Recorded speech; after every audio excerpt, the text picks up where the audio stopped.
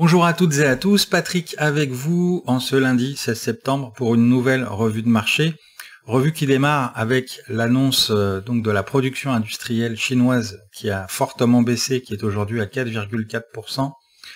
C'est un chiffre qu'il n'avait pas connu depuis 17 ans, donc il y a vraiment beaucoup de perturbations en ce moment en Chine et on va voir que ça va impacter bien évidemment la relation commerciale avec les États-Unis. Nous en reparlerons un petit peu après.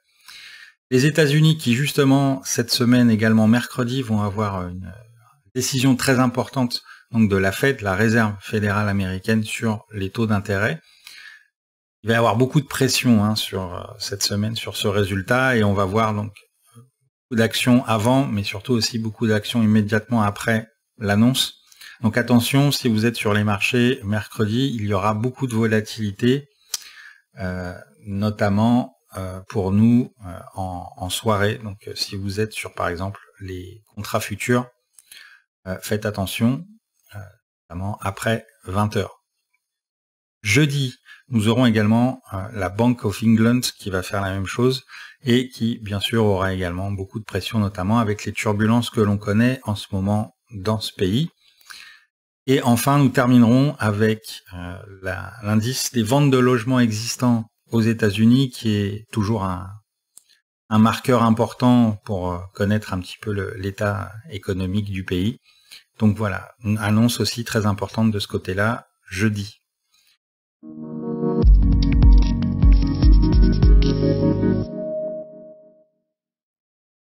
Le gouvernement chinois, qui était certainement au courant avant tout le monde, évidemment, des mauvais chiffres de la production industrielle, a commencé avec les États-Unis à avoir une relation commerciale qui commence à s'apaiser un petit peu et donc évidemment le renminbi reprend un petit peu de force par rapport au dollar, c'est pourquoi il est ici en baisse sur les, deux dernières semaines.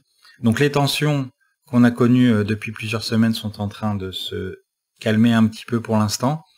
Il faut quand même noter que le renminbi est toujours au-dessus des 7 renminbi pour 1 euh, dollar. Donc on reste dans une zone quand même de turbulence assez importante. Et comme dit précédemment, il faudra repasser en dessous de ce chiffre pour voir une véritable détente. Donc attendons de voir ce qui va se passer dans les prochaines semaines concernant ces relations. Suite à l'annonce de Mario Draghi de la BCE jeudi dernier, les incitations pour relancer l'économie, à savoir la baisse des taux ainsi qu'un nouvel assouplissement quantitatif afin de racheter des actions et des obligations, eh l'euro a subi une forte baisse et c'est repris le jour d'après pour clôturer la semaine à nouveau au-dessus des 1,10$. Vous voyez qu'on a quand même une résistance marquée par ce trait noir aux alentours des 1,11$. Donc nous sommes toujours dans une tendance qui est baissière. Il faudra passer déjà au-dessus de cette résistance pour peut-être constater un changement de tendance, mais pour l'instant nous sommes toujours donc dans un affaiblissement de l'euro face au dollar. Boris Johnson, l'optimiste, va Déjeuner aujourd'hui à midi avec Jean-Claude Juncker, le pessimiste. Toutefois, pour l'instant, la livre sterling gagne toujours du terrain face à l'euro. Il faudra se méfier, parce que nous sommes ici sur une zone d'équilibre, il faudra se méfier donc jeudi de l'annonce de la Bank of England sur les taux directeurs qui va peut-être impacter donc cette tendance que l'on constate depuis maintenant plusieurs semaines. Suite aux attaques de ce week-end en Arabie Saoudite sur les installations pétrolières, il y a eu un très fort mouvement du prix du pétrole à l'ouverture des marchés ce matin lundi, car il y a euh, beaucoup d'inquiétudes sur l'approvisionnement puisque la production a été réduite de moitié suite aux attaques. Alors ça reste certainement temporaire, mais il va falloir observer combien de temps cette situation va perdurer.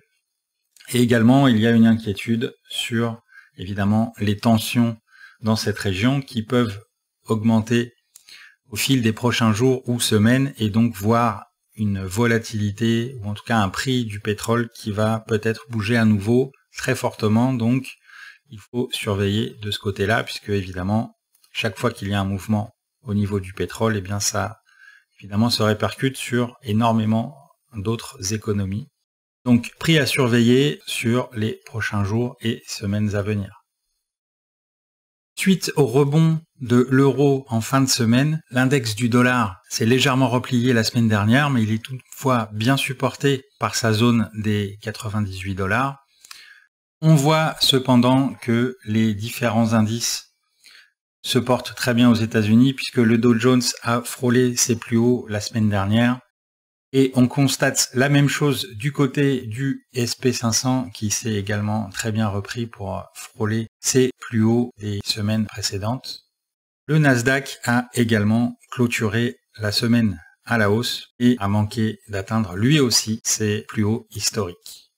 L'or qui s'était replié sur les trois dernières semaines bien supporté toutefois par la zone des 1500 dollars, a fait un net rebond ce matin, bien entendu lié aux turbulences au Moyen-Orient concernant les usines de production de pétrole.